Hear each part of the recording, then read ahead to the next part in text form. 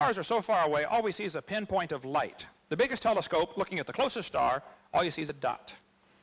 To measure the distance to something you cannot touch, you have to use trigonometry. You have to know two angles and a side or two sides and an angle. Earth is 8,000 miles in diameter, which is basically zero compared to star distance. So what they've done to enlarge the triangle is they look at the star in January and look at it in June, and now you have a 93 million mile radius on a circle, which is 8 light minutes. So a 16 light minute diameter. A year has 525,000 minutes in it. So if you had two surveyors 16 inches apart looking at a dot eight and a third miles away, that's the ratio you have using Earth's orbit as the base, looking at one light year. Uh, that makes an angle of 0.017 degrees. To measure 100 light years is clearly impossible. That's like two people in, Chicago, in uh, Pensacola on my roof, 16 inches apart, looking at a dot in Chicago. 15 billion years is clearly impossible. To, we just simply can't measure those distances. I don't, the stars probably are billions of light years away. I don't know. Nobody does. Um, this textbook says you can measure 100 light years. Well, I doubt it, but I'll give them 100. So we don't know the distance to the stars. They could be billions of light years. We also have proven pretty conclusively here in the last 20 years that the speed of light is not a constant. At Harvard University in 99, they slowed light down to 38 miles an hour. The next year, they slowed it down to 1 mile an hour. The next year, they brought it to a dead stop. This was done at Harvard, Smithsonian, and Cambridge. That's what science is, something repeatable, observable, not hypothetical. At Princeton, meanwhile, they speeded light up to 300 times the speed of light. The speed of light has decreased so rapidly over time that experimental error cannot explain it. Astronomer Barry Setterfield from Australia said. Here's the chart showing the decline in the speed of light. If we had time, we'd talk about all that. The speed of light was apparently exceeded by a factor of as much as 100. Everything's documented at the bottom of the screen and on my website. The speed of light was 10 billion times faster at time zero. According to the Big Bang Theory, the speed of light had to be faster. The speed of light may have changed over history, study says. A shocking possibility is the speed of light might, have, might change in time during the life of the universe. Now, 2002, August, uh, uh, um, Sydney, Australia, said the speed of the light, speed of light may not be a constant. The speed, of, speed limit of the cosmos is being questioned. There's a new book out called Faster Than the Speed of Light. Thirdly, I think that God created, made, made a mature creation. Adam and Eve were full grown. The trees were full grown. It has to be that way. You don't want to make two babies and put them in the Garden of Eden and give them a package of seeds and say, here, plant these quick. Um, it had to be mature. A light year is a distance. It's not a time. So if a star is 10 billion light years away, that's a distance. That's not a time. It's 10 billion light years. That's a distance. I don't know how they missed that. The speed of light is not proven to be consistent, so why would star distance have anything to do with the age of the universe? God could have made it, you know, yesterday, if he wanted. I think he made it 6,000 years ago. Everything mature, fully formed, fully functioning. That's my answer. And how'd they say that on American? Uh, on, uh, that's my final answer. There you go. Sorry. Okay.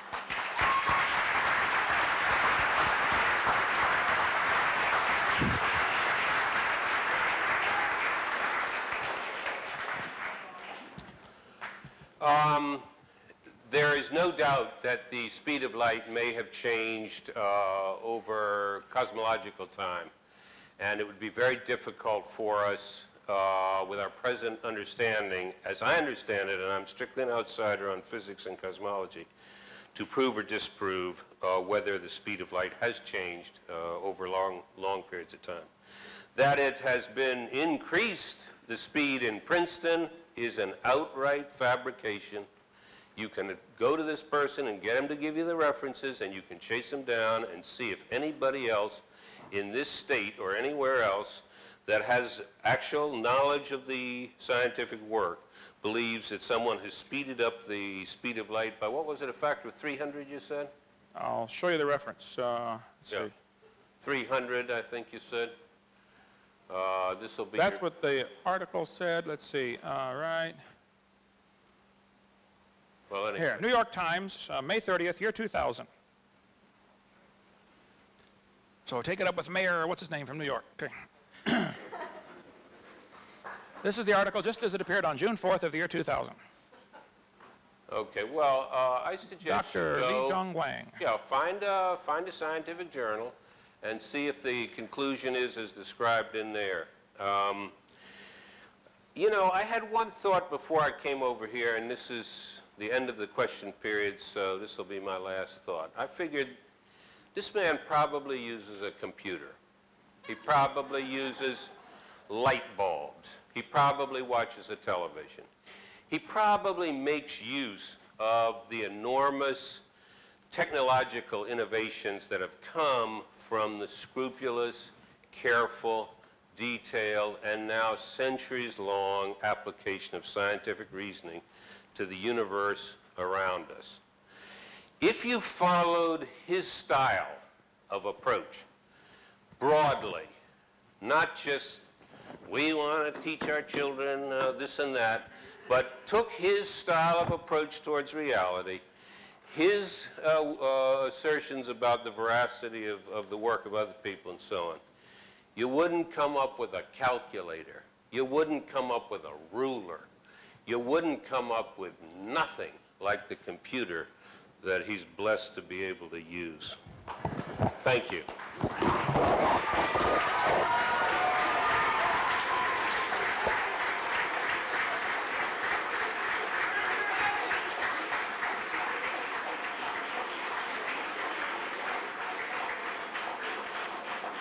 Uh, Dr. Trivers had an opportunity for some closing comments. Dr. Hovind, some closing comments, please. Um, I certainly enjoy science. I have nothing against science, but the idea that uh, we wouldn't have computers if it weren't for evolution is simply ludicrous. Evolution has...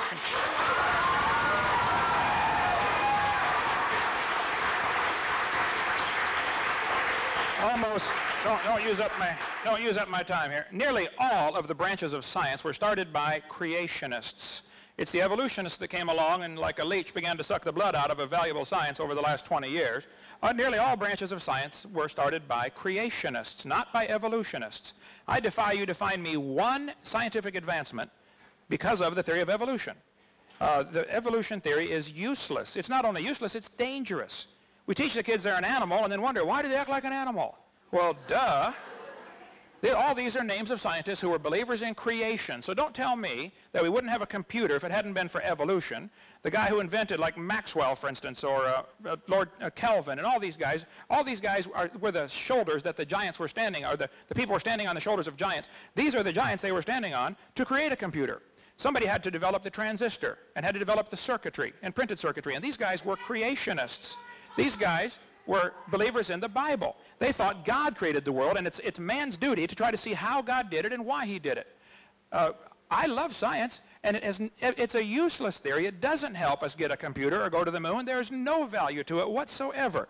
And I resent the implication that scientists, all scientists believe in evolution, because they don't. The guy who invented the MRI is a creationist like me. There are thousands of scientists who are creationists. Many are indeed afraid of losing their job because there's a real prejudice against those who don't believe, who don't bow down to the sacred cow. I mean, I'm sorry, here, let me find the right one here. I'll give you some examples here very quickly since these are closing comments here. Uh, uh, about uh, some scientists who were wrong in, in past. Uh, here, lots, many examples of that.